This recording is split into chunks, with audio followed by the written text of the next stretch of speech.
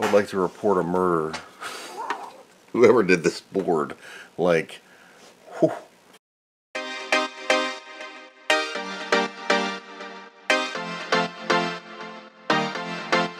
Hey guys, it's Chris, and this is yet another Amiga 3000 repair. So I'm in the middle of three Amiga 3000 repairs, but this one's kind of special. This one belongs to Mr. Allen. Hi, Mr. Allen, if you're watching, here's your here's your girl.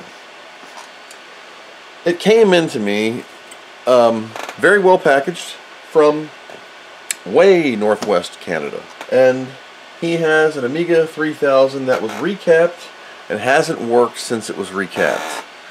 When it came in, it had a coin cell lithium battery or whatever NiCad battery with a copper bar soldered across the posts bridging the positive. First thing I did was clip that out. We're going to put a regular coin holder cell snap-in battery. Since I'm in the middle of three repairs, I kind of have half-half parts thrown together. So this is uh, the LED board from Rusty, along with Rusty's power supply, my RGB Dell monitor. We're going to do RGB first because I've had just the worst luck with flicker fixers. I did put the daughter board in, it was packaged separately. Power supply resting on the SCSI port to elevate it. It's on cardboard. There's no metal touching. We're on power. Let's just see what happens. We're going to look for the reset bus, which based on the quality of this recap job, I guarantee you this is not going to go high. If you hear a printer noise, I am printing a 3D faceplate for another case. Here we go. There's our low. Got a signal? Nope, don't get a high. This has Kickstart 3.1 ROMs in it. So one thing I noticed with this board before I tear into it is when it came in, the buster chip right here in the front was popped out like most of the way. Gave it a squish. I don't know. I'm probably have to pull them all out. I don't know why a recapper, if you're just doing a recap, would unseat the ICs. Sockets look fine. Alright. Oh my... What? What in the hell of 14 gauge wire is this? First things I have to do is undo this burnt through. So these aren't even connected, so that's going to need a bodge wire. It's just totally burnt through. That's burnt off. I don't know what the hell that is. This is totally gone. So this is Ramsey and you burnt the board horribly putting in the wrong size cap. Your 16 470s are 50 470s and they're about Empire State Building tall. You remove the terminators from the board. Great so we have our work cut out for us. While this board doesn't have battery damage look that I can see battery damage. Who knows? It might have barfed. This Agnus has been out because it's been scratched numerous times while looks can be deceiving with such a beautiful 3000 example, 16 mega RAM, almost stabbed myself right in the face. You never know what you're going to get under the hood. This is freaking hilarious. It's sad, I'm sorry. But we'll get it sorted. I'll have to go through the entire recap and then pin out and see what Denise is doing. I can tell where the job was done because they didn't clean any of their schmutz. Anyway, we're going to get started on this. Remember how I said looks can be deceiving? My first continuity check is always top pin to the second pin over here, and nothing. So I'm going to continue like I always do around the old Denise, and we'll see what we get. 9.26 a.m. Monday. Guess what? All this RAM is in backwards. Hello, from several hours later. I would like to report a murder. Whoever did this board, like, whew, must have went in with the biggest tools, even these pickle fingers. I mean, take your time. So check this out. So here in this nice alcohol wiped spot, take a gander at that. Why are these punched out like they were shot? And here, there's supposed to be some traces that run for Agnus. They're missing. Also, here's Gary. Who is this Gary character? Gary is needed for boot initialization. Do you see a problem?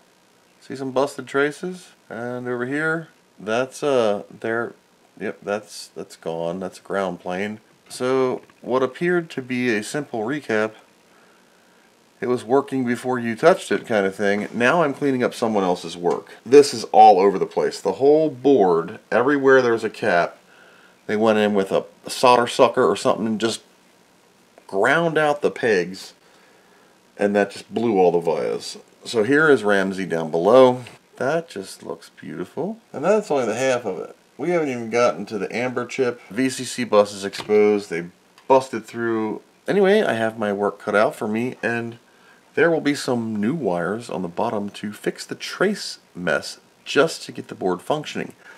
Then add into the fact that they put all the RAM in backwards. She's an anti-static bag. This capacitor next to the power rail, A is incorrect and B just snapped off in my hand. This one's going to be another fun tracer. 5.14 p.m.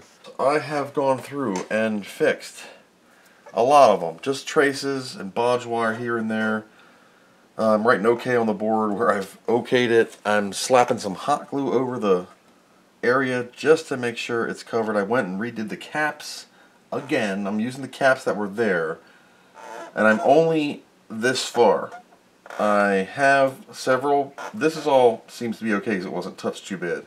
I'm finding little uh, Sharpie markers like I use, dot dot, for connecting points. Maybe it was the previous uh, repairer's attempt to fix their F up. But I have many to go. Every big cap was stabbed. I took the battery out. I'll put a new one in. I'm working my way through it. I'm several hours in, like always. And I took all the RAM out because it was in backwards. You saw that earlier. So I'm going to continue on and uh, hopefully we'll be ready for a proper fire up. And if so, we're good. I'm on this corner here where the serial port is. And look, somebody smashed that up right there. It's not me. Arrived this way. Luckily it's ground plane, nothing major.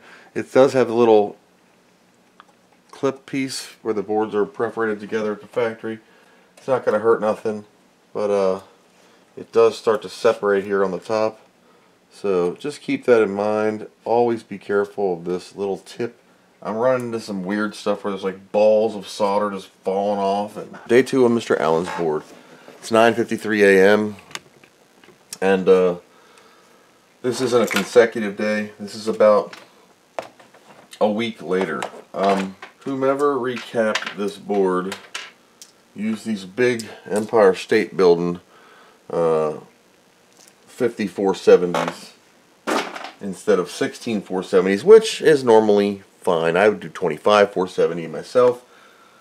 But whomever put these caps in just smashed every trace possible. This thing's starting to look like a damn dinosaur on the bottom. I mean, I got bodge wires and patches and solder drags and metal clips and points that just don't exist and wires everywhere. And I still can't get it to even do anything. Like, nothing. I can get a VGA on the monitor to go bip, like it's getting a signal, dead. Nothing. Nothing. It's like the daughter board's not in, which which I do put in when I turn it on. So, sockets are re-cleaned. I took the Agnus out. I took the Buster out. I took the Fat Gary out. The D-Mac. I took uh, Ramsey out. I cleaned all the sockets. I pin-checked everything. Did not take Amber out because I don't have its socket. Don't want to mess with it. I put DiagROM currently in here from Mr. John Hertell. That normally will at least show something. I get and not a nothing. You stewed, buttwad. Now with DiagROM, it will always kick it in high. I won't have to wait for the the pull down, pull ups or whatever to go through the reset bus. It's just, it's nuts. Ugh. I have oscilloscope the clocks. I have clocks on everything that's where I'm at. I'm going to go back to toning out chips again, just in case, you know, one of my wires is wrong. Um, I went over it twice, so third time's a charm. Maybe I missed something. 1035 Mr. Allen's board. I'm hooking the power supply back up. I found one capacitor that kind of popped through and broke a trace. It was a decoupling cap near the power supply, DiagROM is in. If this works, I'll get the DiagROM. Flickery, flickery, flick, flick. Here we go.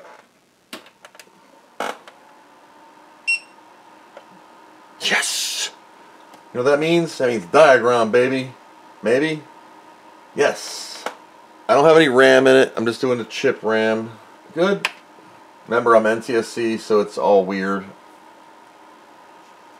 See, NTSC will fail. That's fine. NTSC will fail. Graphic test. DiagROM. Here is the real test. We're going to flip it to scan double. Yes! So that's the scan doubled amber. Bingo Chingo. Whew. That was a pain in the butt. So I kept Mr. Allen's 3.1 ROMs uh, alive and well here. So we're going to use my Jonard. And what I've been noticing with the Jonard here is I have used it so much, her legs are just spreading a little too far. Ah. So I'm going to bend the tips back in. That way when I pull out these ROMs that won't pull out because they're the stupid FR216 ROMs that I have to kind of pry up on because they're SIL turn pins that I just freaking love. There we go. So we're booting Amiga test kit here. Oh, I'm going to fall. Turn off the overhead light. Now, memory. I don't have my memory in yet, so I haven't done the fast RAM, but I just want to make sure I have a booting system. Testing the chip RAM, it's all in the glue logic. If you're wondering, what the hell is, when you keep saying glue logic, what is glue logic? Glue logic is this crap over here. What does it mean? Glue logic means basically that you're using like a CMOS or a TTL type 74LS chip to go in between the actual logic chips. Kind of like can set buffers or set voltages or all sorts of cool stuff. But usually they were used in older circuitry before CPLDs and FPGAs kind of stuff came out. Long story short, lots of chips on the board help the other chips do their job basically. It's called glue logic. Anyway, we can do the 15 kilohertz mode on Amber also. She's good. And we'll do back to 31. It's a clearer display. CIA's precision timers. This one's nicer on NTSC than DiagROM is. RTC battery backed up clock is not present yet, but I have an Amiga Kit clock that I ordered for Mr. Allen. Audio, this is the new Keir Fraser one with the mod. Audio is groovy. Test channels.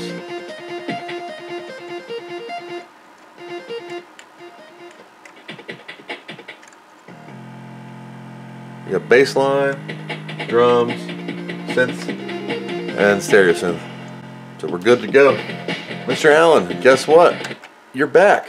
Mortimer, we're back. You got your 3000 done. We are going to test the Zorro slots, and I got to put the RAM back in. These are the Zip 20. Uh, you either love them or you hate them. And they go in these slots right here. Now, you know that they're a big pain in the butt. And the problem I had with this RAM the last time is they were all in backwards. They go in banks of four, okay? Meaning there are slots, there's all these slots, right? Well, there's four banks. Slot zero, slot one, slot two, slot three. That's one bank. But they have to be in zero, zero, zero, zero. So zero, zero, zero, zero, then zero, zero, zero, zero, and then one, one, one, one, one, one, one, one, two, three, and so on. That's how you load up all 16 megs of RAM. Now, there's also an issue with static column versus page RAM. The Amiga 3000 will not boot properly or will not work at all with the wrong RAM installed. I need to use the Helmet of Goober, first 4 megs of RAM right here. Let's just turn it on. Uh, let me put Amiga test kit in the drive in the Gotek. Hit it. No SCSI, no internal floppy. Takes a second to figure out that it wants to boot. No battery to remember the SCSI settings. Oh yeah, I gotta find out what I do with that thing. Don't remember. Okay, so four megs. One, two, three, four. Two megs of chip. I'm gonna test each RAM range in the fast RAM when I put the four chips in. You have to stick them in in the proper amounts. You gotta stick them in in four meg increments. And I only have a couple more. The plus note that this booted with that RAM even is better. I will be in your way a lot But you can see how I have the four banks, right? So I'm going to take my next chip. Whew. And then the third. You see these legs here? I stick, I'll do this backer socket, so I do it anyway. I stick the back legs in, and then I kind of out smash my hand against the riser card.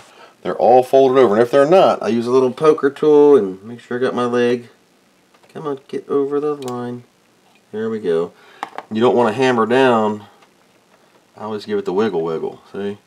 Now why did I skip a socket? Just for example, because so we're just going to do a test on memory. I'm going to test regions, so we're going to test F2, the 16 meg fast RAM region. Anyway, as you can see, uh, memory tests have succeeded. 18 meg total memory detected. Take a picture for the owner. I need to test the Zorro card. We're going to use the multi-face 3 card. It's my go-to tester for Amigas because I can just stick it in and hit the button and test. For this, we're going to do the double mouse button. We're going to hold the camel toe down, get the Workbench 3.1 ROM screen where we can select the boot device. We can also click the expansion boards, and that will allow us to see if the boards are working. There we go. Zorro is working in the top slot, which means it'll work in all the other slots because they travel up. Auto detect is working. Board number one. Boot options, yep. Display options, the whole nine. Original enhanced chipset. You only get this with a ECS machine. NTSC or PAL. I got the battery in PAL. We're going to test the RTC real quick and then we're done. If you hear any goofy noises in the background, Mona's walking on the treadmill. Man, alright, so we're going to go to uh, battery backed up clock. We're going to set the date and time. Well, hell with it, it's May 4th. Alright? Now, the trick with this is back out, turn the machine off. It's off. I kill it by the power, so the mains are drained. Turning it back on, does it hold time? If it does, I'm good. If not, I have a trace to fix. It held. Groovy. So everything's working. Another Amiga has been saved. You son of a... Ah! So, Mr. Allen, I hope this finds you well, and I hope you're able to enjoy this unit now that you have your Amiga 3000 functioning, and you can enjoy it, hopefully, for many more years. Thank you guys for watching. Thank you to my patrons and supporters who help make these free pairs possible. And as always, I hope you learned something.